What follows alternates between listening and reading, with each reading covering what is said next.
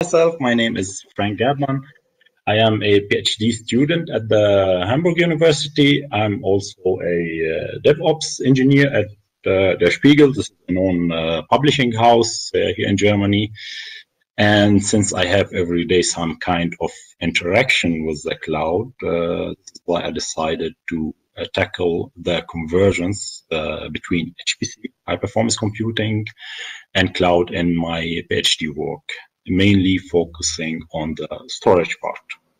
Uh, today we will be addressing S3 performance inside HPC, uh, and I will start by introducing S3. Right. Okay, what's actually S3? S3 is the Amazon Simple Storage Service. You can see the tree S. This is why it's called S3. It was launched back in 2006. It's an online cloud storage service that you can access from almost any device.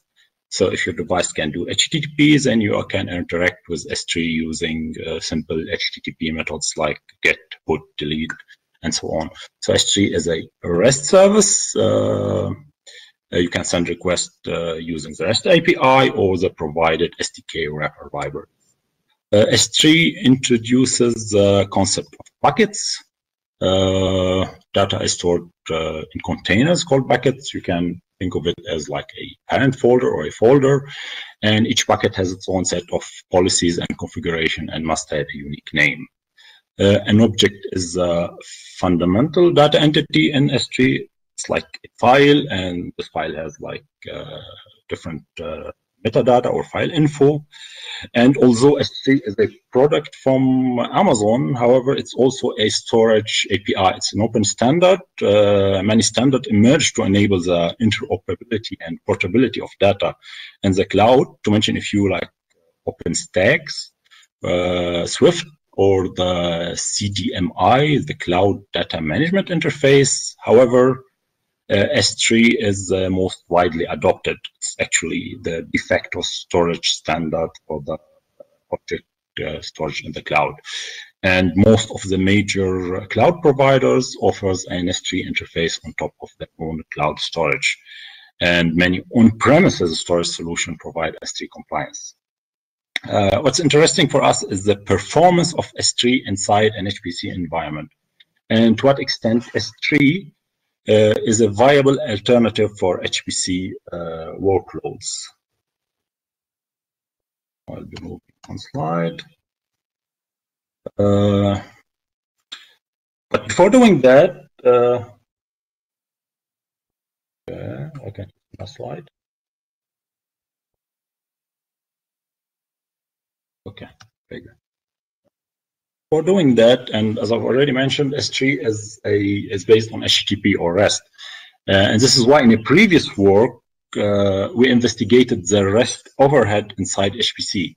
Actually, if you search for the term REST overhead inside HPC, you will uh, likely uh, find our our uh, previous paper on this matter. Uh, there we defined a performance model based on hardware counters, and we validated this model. Uh, we also uh, came to the conclusion that if the same transport protocol is used, in this case TCP, uh, REST can provide similar latency and throughput to native HPC protocols like MPI, while of course enabling uh, better portability. HTTP is used everywhere. And in the recent years, we uh, we saw an evolution of uh, the HTTP protocol. Maybe you have heard of the new standard HTTP2 and HTTP3 and those standards might uh, have potential to improve the REST performance.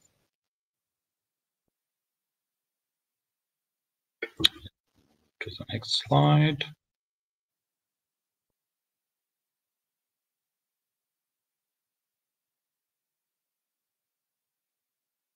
Now that we know that REST is a viable option for HPC workloads, let's now address the performance of S3 itself.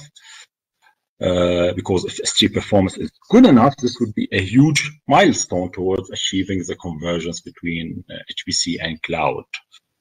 Uh, however, the performance of S3 inside HPC uh, didn't get any attention or got uh, too little attention Uh, most work done till now only focused on the download performance of S3. This might be relevant for static websites where the user have little interaction or only need to read access to the object or the files. Uh, however, inside HPC, uh, we are playing at another level. Uh, most researchers researchers never published uh, or described the use tool, and most found tools are not able to uh, assess S3 uh, compatible storage, the one provided from other provider than than Amazon. Did we do and how did we do it? Uh, because the found tools do not provide a detailed latency profile, nor do they support parallel operation across many nodes, which is a key characteristic for HPC application and the lack of uh, published uh, tools that cover HPC workload pushed us to enhance to uh, open source benchmarks that are already used for HPC procurement, uh, namely IO500 and MD Workbench. I'll explain how they work uh, later.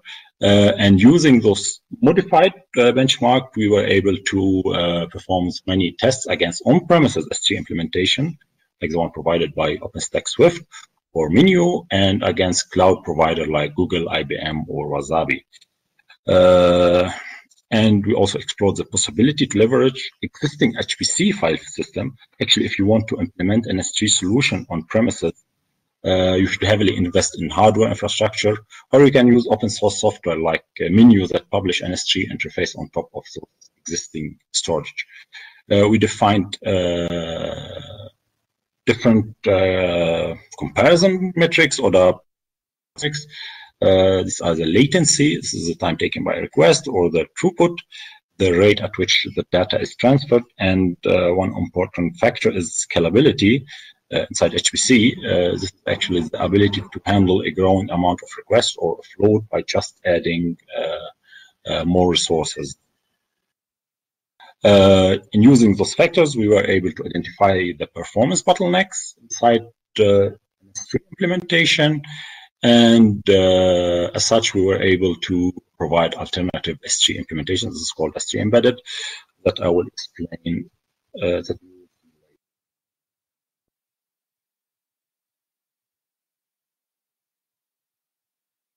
so let me start by explaining the how IO500 and uh, MD Workbench works. Work. Uh, IO500 uses IOR and MD test to perform various workloads and uh, delivers a single score for comparison. Uh, the different access patterns are covered in different phase. IO easy simulates uh, application with well optimized IO pattern. IO hard simulates applications that utilize segmented input to shared file. MD easy, metadata easy, simulate uh, metadata access. Uh, this is relevant in HPC uh, in HPC environment since some HPC application do extensive uh, metadata or file info lookup, and MD hard uh, access uh, assess is a phase where small files are accessed in a shared bucket in this case. On the other hand, MD Workbench simulates concurrent access to data object and report throughput and latency statistics, which we'll use later to draw some uh, density graph. Uh, it consists of three phase, pre-creation, benchmark, and cleanup. What we did is actually uh, we uh, implemented an S3 model based on libs3. This is a well-known S3 wrapper library using C language. And as such, we were able to uh, conduct benchmarks against uh, against S3 or S3 compliant uh, interfaces. Uh, let's see the benchmarks in action. First of all, uh, and mainly due to its ease of installation, we do some preliminary testing using Minio, which is a software uh, that provides an S3 compatible interface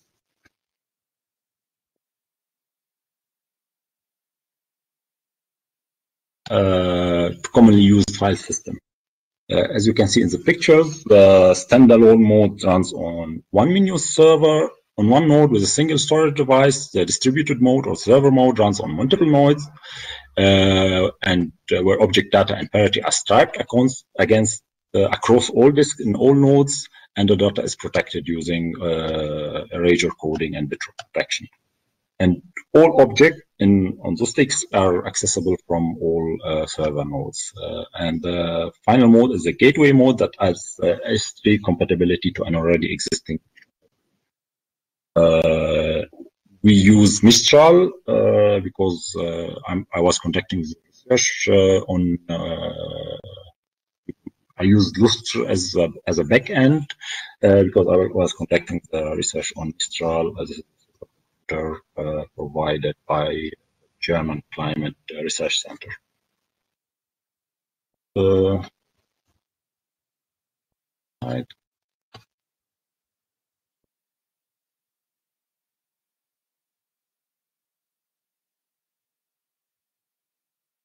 just to get a feeling on how S3 performs, uh, we conducted here uh, several tests on uh, using uh, the IOR uh, benchmark. And you can see on top the different Minio modes. they are run on one node using one process per node. and we uh, noticed that the standalone modes uh, shows the best performance. The gateway mode is effective for reads, uh, however, it's slow for it's very slow for write. Uh, as you can see in uh, in this picture.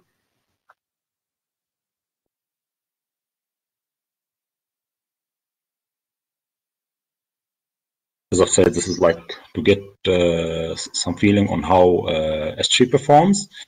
Uh, then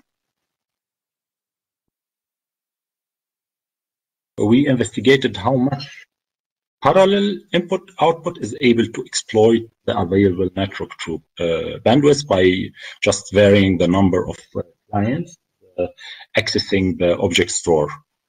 Uh, and assuming though an ideal scenario uh, where uh, Minio started in standalone mode with RAM as backend on one node, we started IOR on another four node while varying the number of process per node.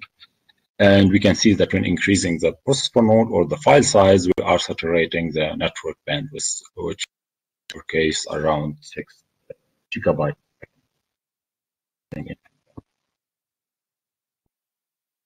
The write performance is around the half of what we have seen uh, for the read access. Uh, and one, one thing to note here, uh, these results are very good. However, this is not a feasible real world scenario because, as you know, the RAM size is limited and RAM is expensive.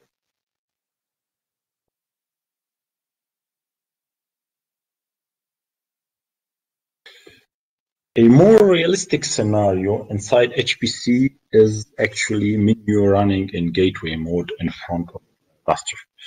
Uh, first, we launched the benchmarks on VIA uh, on four client nodes, and Minio started in gateway modes on another set of uh, four nodes. Call disjoint gateway mode. However, the stuff doesn't scale out efficiently. I mean, you need like the double uh, number of nodes to to achieve uh, to achieve this. And uh, this leads us to the introduction of another concept, which we call local gateway mode, where Minio started on the on end client in gateway mode and using the uh, Lustre file system as a backend node, and the client can access uh, the local host to uh, to obtain to to uh, the S3 interface in this case. Uh, we can see that this introduced mode uh, performs better than the disjoint mode. However, it's still very poor, as you can see on the right. It's still very poor in comparison.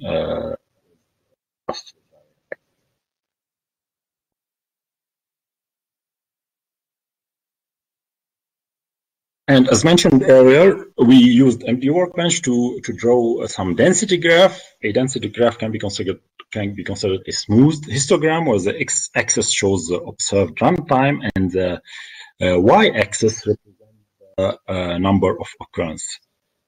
Here's the density graph for a Lustre. Uh, we notice that the create phase is the most time consuming. Uh, most of the operations are taking more than uh, or around 10 milliseconds. This is like 10 times slower in comparison to the uh, stat phase, uh, which is taking around millisecond. Uh, the same is done for the Minio disjoint gateway mode. Uh, as we saw earlier, this is this wasn't good enough, and uh, yeah, we can see that the create phase is like taking a relative very long time, and it's like 1,000 times slower than uh, than Lustre uh, the local gateway mode uh, is better. However, it's still uh, very slow and it's not like it's, it's far away from the baseline network uh, performance, which is around uh, 10 microseconds every uh, request.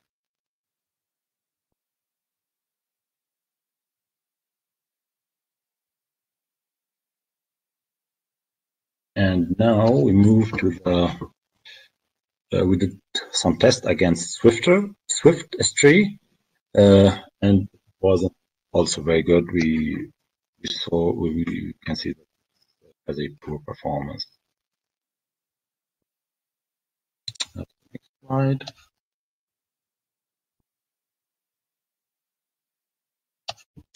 Okay, we contacted different cloud provider and we uh, chose the closest storage location to Mistral in the EU to ensure the lowest latency. Uh, however, due to the limited numbers of uh, nodes uh, with internet connectivity on Mistral, the bench only on two nodes with one process per nodes. Uh, the results are summarized in the table, and for comparison, the results of Minio are uh, also displayed here just for comparison and uh, see that the IBM cloud storage uh, delivers the best performance. However, this is far from the performance expected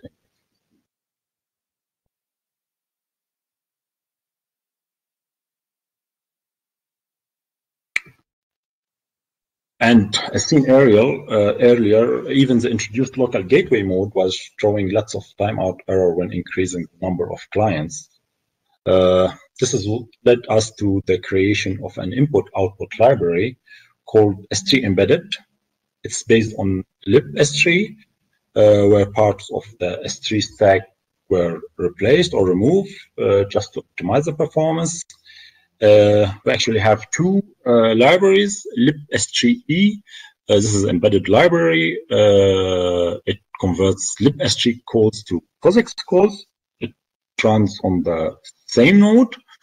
and we have the libs3 remote, which converts the libs3 via binary conversion to TCP calls uh, to a local or a remote libs3 gateway application that then executes this POSIX calls bypassing the HTTP protocol, as you can see.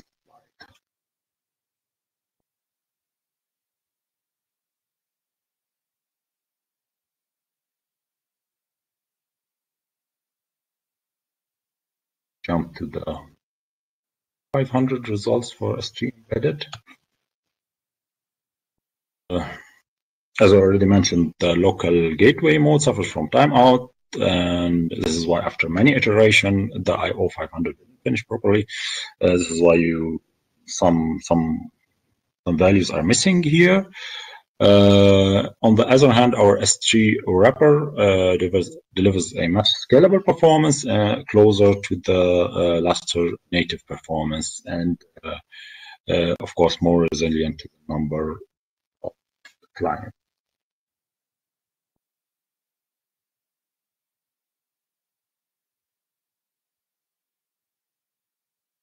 We also wanted to uh, compare S3 embedded to uh, to the performance using iPerf on REST, native REST, and uh, we end up, uh, we can see that the S3 embedded uh, is close enough to direct RAM access. Uh, we launched those tests on one node with uh, tmpfs or RAM as backend. however, we can also see that S3 embedded remote needs to be need to be optimized And in this slide, slide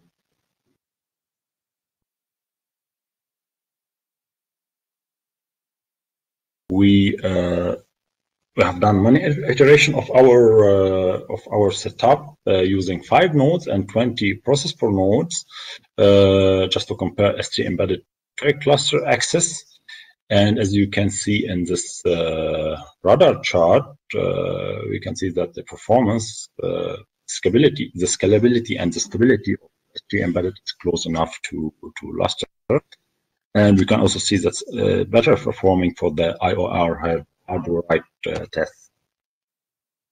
Like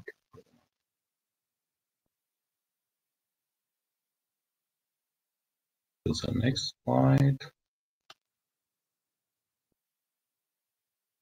As a conclusion, I can say that by extending two open source uh, benchmarks, IO500 and MD Workbench, uh, to benchmark the S3 interface, we were able to broaden the scope of IO 500 usage and enable the community to track the performance growth of uh, S3 and also to share performance optimization uh, best practices.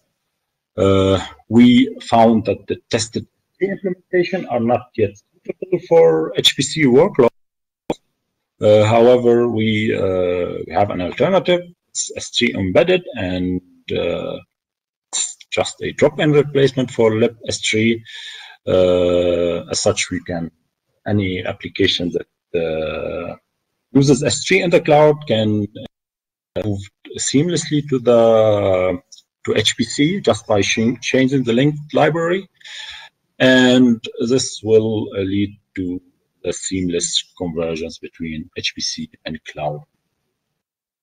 This feature work, uh, we intend to more IO500 tests against cloud provider or against in-house implementation, and of course, S3M, S3M library. Uh, any contributions are welcomed. Uh, I don't know if you have any questions. I I am happy to answer them. Thank you very much. Thanks, Frank. Um, can you say one sentence or two about the open source relevance um, of your research? How important is open source for you? Actually, we are using only open source tools. Uh, as I mentioned, IO500 and MD Workbench are open source tools. We, uh, we optimize those uh, benchmarks uh, enabled to to test S3. And the S3 embedded library is also an open source library that everybody can access and uh, can contribute to.